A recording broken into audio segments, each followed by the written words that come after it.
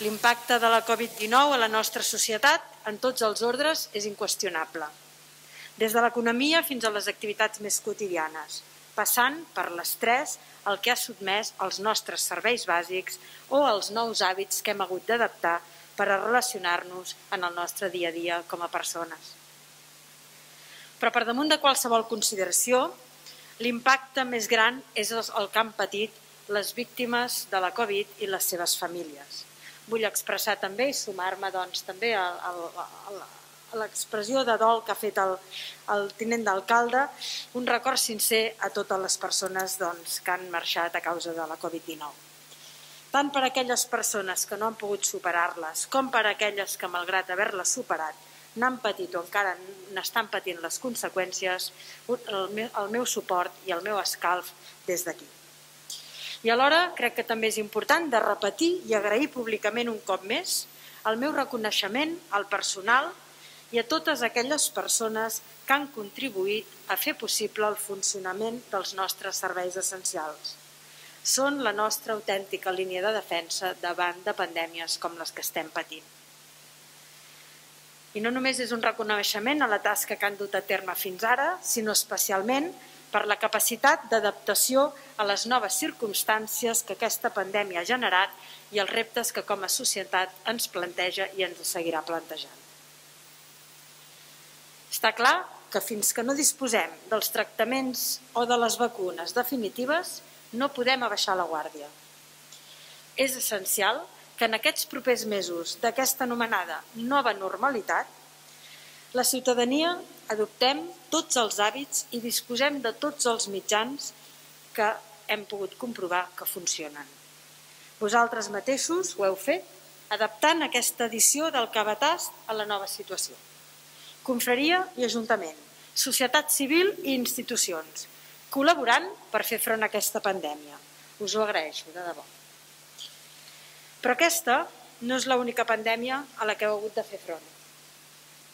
A l'impacte de la Covid sobre les persones cal afegir-hi també la que ha tingut el mildiu sobre les vinyes. Un impacte que supera la plaga que ja vareu patir l'any 2018 i que ara, considerada fins aquell, i que era considerada fins aquell moment la pitjor des que tenim registres.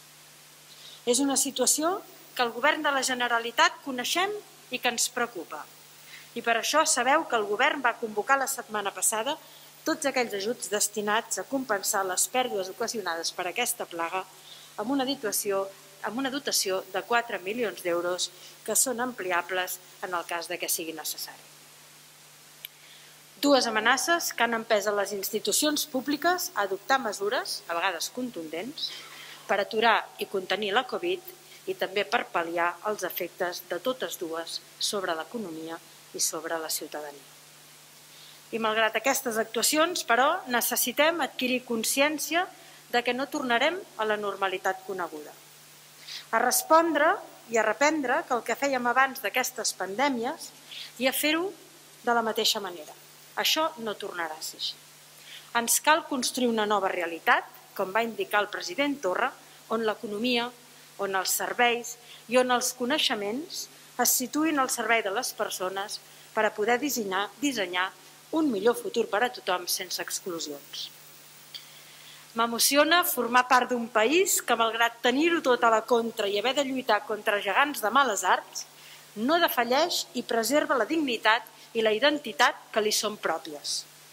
Això ha estat possible gràcies a l'aportació de moltes dones i molts homes d'aquest país.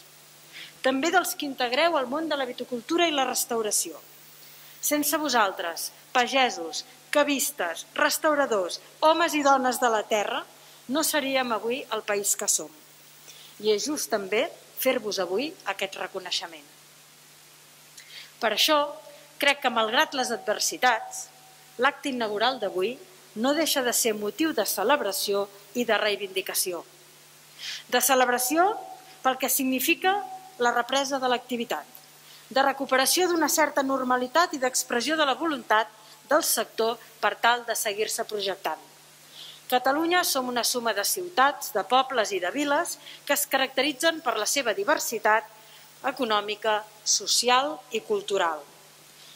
El Penedès sou terra de vinyes. una terra que ens dona un producte de proximitat de primera qualitat.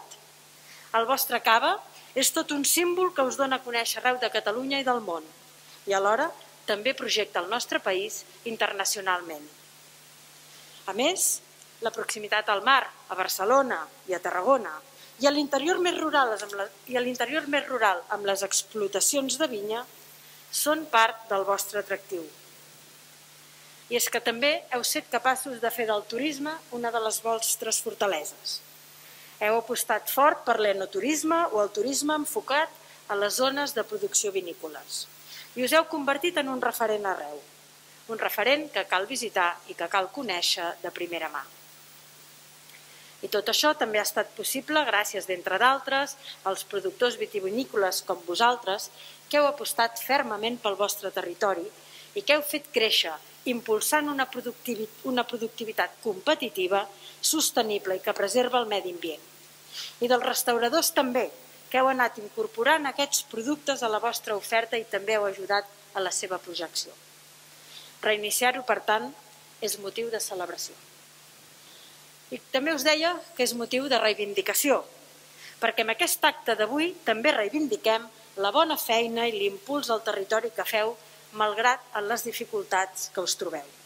Es fa evident que totes i tots vosaltres estimeu la terra i que la preserveu i que la cuideu perquè continuï sent font de benestar, de riquesa i de, i de productivitat. Els reptes que heu encarat han estat difícils, les dificultats afegides aquest any són enormes, però malgrat això hi sou. I heu estat capaços de consolidar un model i una manera de fer i de sentir el cava.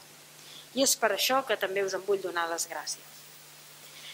I també per això he acceptat la vostra invitació i poder-vos acompanyar, per dir-vos que el govern de la Generalitat està i estarà al vostre costat.